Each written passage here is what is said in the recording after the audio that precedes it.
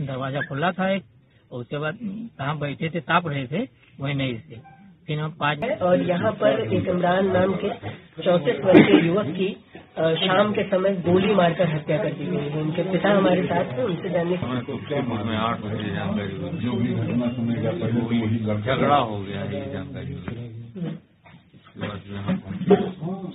झगड़ा हुआ कुछ कोई बताया? झगड़े की बात बताया बाकी इसके अलावा कुछ नहीं। पुलिस कितनी देर बाद पहुँची यहाँ पे?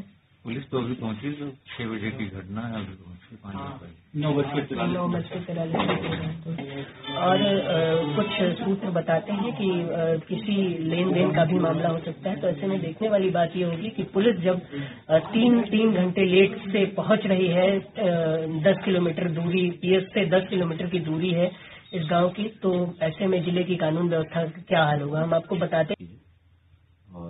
समय और घटना का और घटना के कारण इत्यादि का पता लगाया जा रहा है। सर ये दूसरी घटना है गोली चलने की। इससे पहले भी गोली चल रही है तो इसका क्या वो मतलब निकलता है? देखिए जो अभी एक कुछ दिन पहले शहर में एक नगर कोतवाली में गोली चली थी जो कि एक बिल्कुल ही सेपरेट घटना थी और वहाँ एक मारपीट और सामने सडन प्रोवोकेशन का मामला था। ये बिल्कुल सेपरेट घटना है। हालाँकि ये घटना बहुत बड़ी है और इसको बहुत ही गंभीरता